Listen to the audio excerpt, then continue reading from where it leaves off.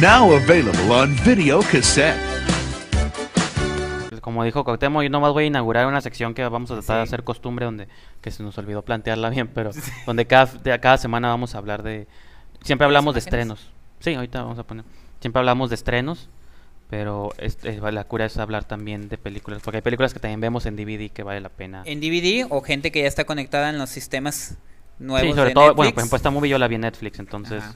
pero digo, puede ser DVD o Netflix o descarga por satélite o yo qué sé. En esta no voy a opinar porque no he visto la movie. Aquí el señor Rijandes ya la vio en Netflix. Entonces la movie es de Bob Goldthwait, que es un comediante gringo, pero y que también ha hecho muchas movies. Creo que él, él hizo la de Bozo, ¿cómo no? El payaso. Ah, deja busco, ya es, yo recomiendo las movies, pero no, no, No las, no las investigo. hizo. No sé cómo, no tengo el profesionalismo de Cuauhtémoc. ¿Cómo dices? ¿Eres qué? Soy un mal productor. no, Bobcat. Este, pero la movie, este, el anterior de, de este director se llamaba World Greatest Dad, que era el mejor papá del mundo, será la traducción, que el protagonista es Robin Williams. En esta ocasión nos plantea una historia que parece que es como un rip-off de Breaking Bad, donde el- a, un, a un personaje que es Frank lo corren de su trabajo, ¿no?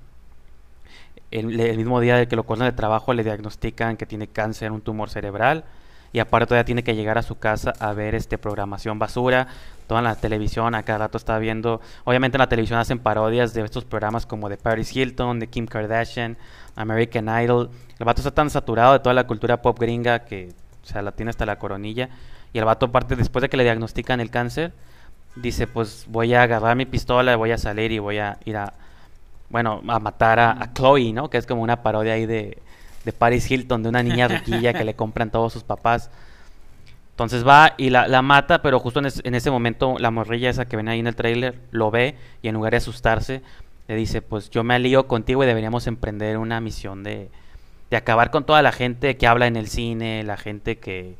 La Que gente, come y la masca gen- en el la gente cine. que come fue a tener que habla por celular, la gente que o sea, los, los conductores de American Idol, ¿no? Que nomás contribuyen a, a dañar a la sociedad, a los líderes religiosos. Entonces la película es como, es un humor bastante negro. De hecho, hasta es la primera de las primeras muy donde se ve que le disparan a un bebé y explota. Entonces, es ah, como ya para mí cuando una movie se atreve a matar a un bebé, ya es, es- es un nivel. sí. Pero es para que vean qué nivel de humor negro es, pues, ¿no? Son También- riesgos que a veces a mí sí me gustan que tomen, ¿eh? Porque sí. Hay como inuendos ahí también. La, la niña se supone que tiene como 16 años y el vato pues ya está cuarentón, cincuentón. Entonces hay como ahí inuendos como medio sexuales, ¿no? De un lado hacia el otro. Es como Kikas, pero llevado al, al extremo, ¿no? Sí. Este... La, la movie la recomiendo, digo, porque yo... A mí me gustó mucho la anterior, la del World Greatest Dad, con Robin Williams, que también véanla si pueden. También de Bobcat, ¿no? Y está muy, pues digo, ya está en DVD, en Netflix.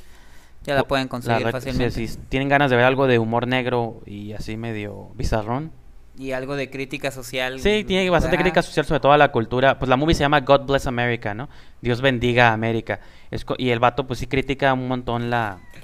Dice Jesús Guerra, mi sueño, la pinche gente ya se la hace normal hablar en- fuerte en el cine. Sí, yo me acuerdo cuando fui a ver Batman también, o sea, el vato que estaba enfrente contestó el celular y como bueno que fue al principio, los primeros 10, Ah, pero 15 eso sí es minutos. pésimo, no me sí arruinó. no me- Digo, no, vamos a agarrar una pistola y matar gente, si, pero... si hubiera sido en un punto clímax, me hubiera enojado, pero casi al principio, bueno, sí, aquí estoy en el cine.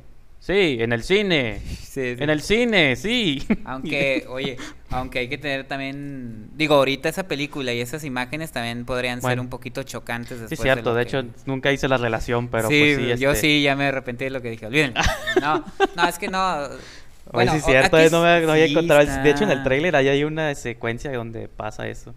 Ahora, Ahora- aquí, obviamente, vamos a dejar bien en claro, no estamos de acuerdo con eso, no queremos que suceda por ningún motivo, son situaciones bien horribles. Es una película, es una ficción, pero sí hay una situación, este, no nada más del cine, sino del, del, de los medios de entretenimiento, que ya están muy viciados, que ya están llegando a otros niveles de, de basura. Digo, están las Kardashian, están, este, ¿cómo se llaman? Las... Este, pues, Jersey Shore. Jersey Shore. Ah, sí, también se Ah, burlan de eso en la movie. Ese tipo de cosas. O sea, Entonces, más que, más que hacer eso, digo, y sí lo quiero dejar bien en claro, no quiero malas interpretaciones ni nada, es más que nada criticar todo, todo ese rollo y llegar a un nivel creo yo, digo, me lo estoy imaginando, a un nivel de humor negro y, y, este muy muy elevado, ¿no? Sí, es que la movie como obviamente la movie se hizo hace dos años donde sí, pues, sí, no, tampoco vamos no a decir sabían. que- yo creo que ahí está una imagen de hecho en la pantalla de, de la secuencia. Digo, yo no había hecho esa relación, pero pues sí, este se puede interpretar como medio macabro, ¿no? Sí, no, es que cuando dijiste Batman sí me cayó el 20, no, no. No, fíjate entonces que no, está- no sé, pero digo, no es como yo, yo he visto cosas, este, yo veo South Park, ¿no? Entonces a mí no me ofende tampoco eso.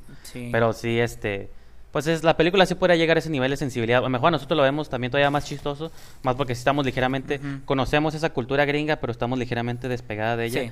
Eh, esta, esta movie se burla de la gente que está sume... Para aquí es el equivalente a las novelas mexicanas. O sea, yo, una versión mexicana de esta movie sería alguien que mate a todas las doñitas que ven este Televisa, ¿no? Las novelas, el noticiero de la noche, ¿no? Con- Sí, sí, sí. o sea, se- es como, es- se burla de eso, pues, de cómo dejamos Sí, que pero la te digo, media... yo me imagino que es de un todo, no Sí. específicamente de eso, sino que son situaciones que suceden y que, como dice Jesús Guerra y Beto Guevara, sí es cierto, o sea, son, son situaciones que ya se están volviendo molestas, pero porque el- así nos estamos haciendo todos insensibles, o sea, ya no te preocupa lo que piensa el de atrás, sino nada más lo que yo pienso.